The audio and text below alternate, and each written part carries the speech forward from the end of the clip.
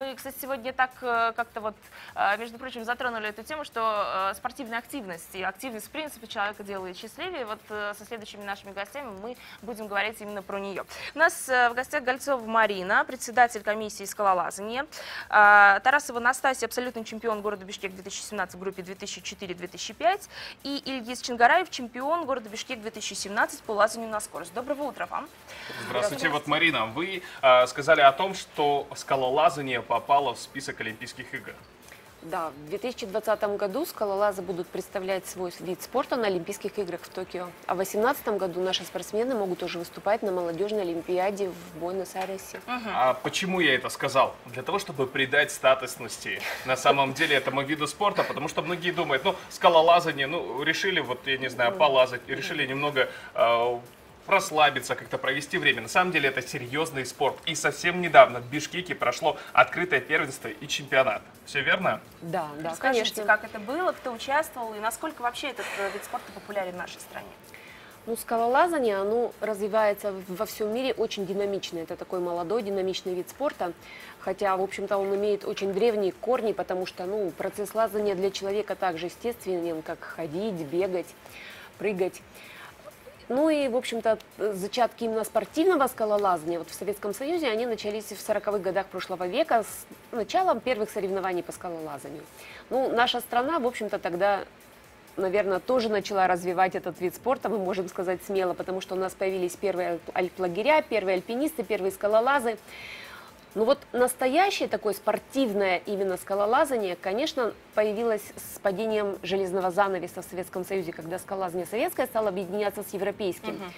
И у нас в стране тоже стали появляться, мы не отстаем от мира, у нас стали появляться скалодромы. Первые скалодромы мы строили в 93 году. Постепенно наша материальная база скалолазания ширилась, ширилась. Вот только за последний год у нас уже три скалодрома новых появилось в Бишкеке. Да, ну и, соответственно, поскольку это все-таки вид спорта, проходят какие-то соревнования. В годовом цикле у нас ну, около 8, 10, 12 соревнований может быть, начиная от клубных и заканчивая чемпионатами Центральной Азии, которые проходят у нас в Бишкеке. Ну, вот как вы сказали, у нас буквально в эти выходные прошел чемпионат города, это последние наши такие соревнования, рейтинговые, большие. В них принимало участие около 90 спортсменов из Киргизстана и Казахстана. Ребята были поделены на возрастные группы, и мы соревновались в двух видах, в лазании на скорость и в лазании на трудность. Мгм. Вот на Ну, скорость, да, наверное, стоит задать вопрос нашему гостю Ильгизу. А, Это очень, мне кажется, необычно. Вот э, что а, самое главное в вашей дисциплине? То есть, я правильно понимаю, а, вас оценивают, как вы достигли той или иной вершины за определенное количество минут или секунд, или как, э, как Да, это происходит? Расскажите. Секунд. Секунд. Ну, да, зависит от трассы. То есть Какая высота? Давайте Да. начнем с этого. Высота стандарт у нас 15 метров идет. Это, грубо говоря, четырехэтажное здание. Да, примерно так. Какое время? А, за 15, сек- да, за 15 метров. Ну, там 15 метров 7 секунд, 6 секунд. 7 может. секунд. Как Человек-паук. Ну, почти, да. Только без паутины. Получается, на крышу телеканала НТС вы сможете забраться, За 7 секунд. за ну, может, немного больше, хорошо, там, ну, в течение восемь. 10 Там секунд антенны. точно. Да, возможно. Анастасия, расскажите, как вообще этот вид спорта в вашу жизнь попал? Э, Как вы стали заниматься этим? Это, кстати, абсолютный чемпион возрастной категории от 2004 по 2005 год. да. Ну, я сидела дома, а папа как раз работал в центре, там, где скалодром стоит. Начала я заниматься в Астане, в Казахстане.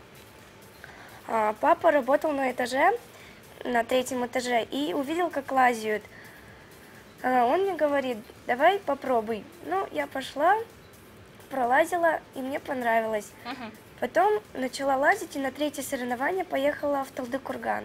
На соревнования заняла 19 место, и потом, через некоторое время, прям хорошо начала заниматься и быстрее, и начала как развиваться. Настасья, вот скажите честно, пульт от телевизора просто сверху спрятали где-то, и вы понимали, да, что нужно каждый раз забираться туда, или нет? Или вот а, почему именно скалолазание? Вот, потому что, да, папа работал, но вот на самом деле видов спорта очень много же, ведь и по вам не скажешь, такая хрупкая девушка. Ну, мне очень понравилось, это как и когда ты боишься высоты, э, то есть можно как побороть свой страх. Это вроде бы и интересно. Немногие же занимаются скалолазанием, а это редкий и такой спорт. М, Когда ты лезешь, это очень интересно. Там, когда ты начинаешь быстро лазить, тебе вот на тебя смотрят и очень ну, классно. Мгм. Ну вот такой тогда вопрос к Ильгизу в том числе. А Что самое главное, какими качествами должен обладать спортсмен вот именно в вашем виде спорта? что Цепкие это должно пальцы, быть? может Да. быть, накачанные ноги. Да. Ну, скорее всего, ноги хорошие, потому что у нас идет большинство техника на, на ногах, то есть Мгм. взрывная техника на ногах. И толчок идет от ноги, как бы, а руками ты просто уже придерживаешься ближе к стене, чтобы не улететь вообще. Ну вот э, человек, который, скажем так, э, является самым опытным в скалолазании в этой студии, сейчас поднимал палец. Вот вы хотели что-то добавить? Да, на самом деле скалолазание оно развивает динамично все группы мышц. И вот в Европе, в России он имеет статус фитнес-спорта. Во многих да, фитнес-центрах стоят скалодромы, и помимо спортивного скалолазания очень популярно развит фитнес-скалолазание. Мгм. Вы э, э, в процессе, у вас есть страховка? Меня интересует этот вопрос, потому что это Да. еще и очень опасно. Ну, а какие-то были такие травматичные моменты, может быть? Это подстегивало, наоборот, развиваться? Не хотелось никогда все-таки забросить это дело? Нет. Мгм. А вас, Ильгиз? Нет. Мгм. Скажите тогда про то, что вы принесли. Мы видим, какое огромное количество медалей сейчас лежит на нашем столе. А, Настасья, это ваше или, или на, наполовинку как-то с Ильгизом? Ну, это мои, вот это Это вот. все ваше. Так, Но медалей больше, чем за мои 25 лет. Дипломы. есть еще дипломы, да, целая папка, видишь, припрятана.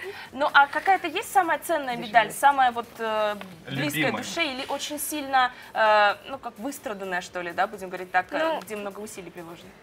На чемпионате федерации было очень сложно, потому что я боролась с Коротковой Василиной. Она лазит, как я.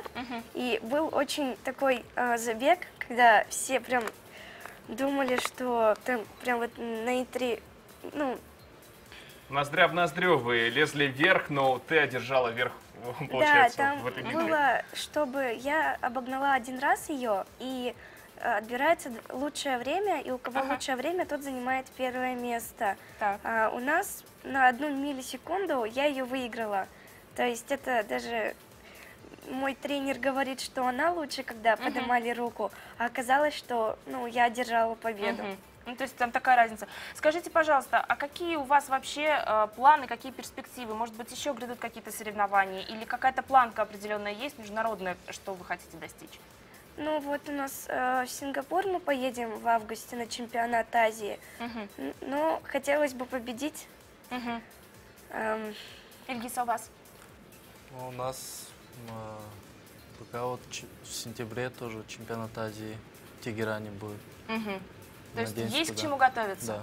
Есть Это куда здорово. стремиться. Это здорово, да. Причем э, одержать высоты, это в данном случае в буквальном смысле этого слова. Спасибо вам огромное. Мы вам хотим пожелать, естественно, побед. Э, Пускай все будет легко и хорошо, хотя, наверное, когда легко, тоже неинтересно. Все-таки какие-то препятствия должны быть. Э, Ну, а вам, Марина Риксовна, спасибо за то, что развиваете этот вид спорта в нашей стране. Это очень Не интересно, на самом деле. И пускай как можно больше людей будут заинтересованы им. Спасибо огромное, друзья. Мы продолжаем говорить сегодня про а, те моменты, которые делают вас счастливыми. Если вдруг вы тоже занимаетесь какой-то физической активностью, дозванивайтесь и рассказывайте, что это у вас.